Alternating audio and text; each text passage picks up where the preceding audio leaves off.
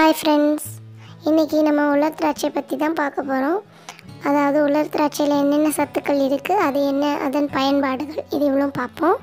வீடியோக்குள்ளே போகிறது முன்னாடி சப்ஸ்கிரைப் பண்ணுங்கள் பக்கத்தில் இருக்கிற பெல் ஐக்கன் ப்ரெஸ் பண்ணுங்கள் அப்போ தான் நான் போடுற ஒவ்வொரு வீடியோக்கும் உங்களுக்கு நோட்டிஃபிகேஷன் சரி வாங்க வீடியோக்குள்ளே போகலாம் இந்த உலர் திராட்சையில் என்னென்ன சத்துக்கள் இருக்குன்றதை பார்ப்போம்.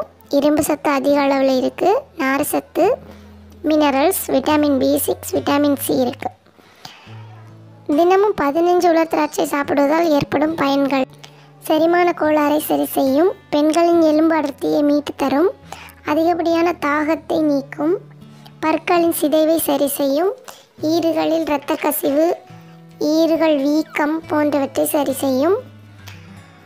உடல் எடை அதிகரிப்பதில் பெரும் பங்கு வகிக்கிறது. ஏனென்றால் இதில் ஃப்ரக்டோஸ் குளுக்கோஸ் அதிக அளவில் உள்ளது. மலச்சிக்கலுக்கு சிறந்தது அனைத்து வயதினருக்கும்.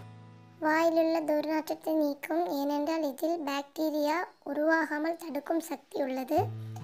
வயதானவர்களுக்கு தினமும் கொடுத்து வந்தால் மூட்டு வலி எலும்பு தேய்மானம் போன்றவை சரியாகும். அப்புறம் இதை எப்படி எடுத்துக்கணுன்றதுக்கு நான் டிஸ்கிரிப்ஷன் பாக்ஸில் ஒரு லிங்க் போடுறேன். நீங்கள் அந்த சேனலில் போய் பாருங்கள் அந்த வீடியோ பிடிச்சிருந்தா அந்த சேனலையும் சப்ஸ்கிரைப் பண்ணுங்கள் ஃப்ரெண்ட்ஸ் உங்களுக்கு இந்த வீடியோ பிடிச்சிருந்தா லைக் பண்ணுங்கள் கமெண்ட் பண்ணுங்கள் ஷேர்